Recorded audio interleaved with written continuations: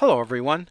This is Doug Goerss with the monthly real estate um, market update for Stillwater, Minnesota, for data available as of December 10th, 2010. This is um, uh, showing um, historical closed sales by the month. Closed sales is actually when a, a home seller actually has transferred ownership and cl closed on his home with a home buyer.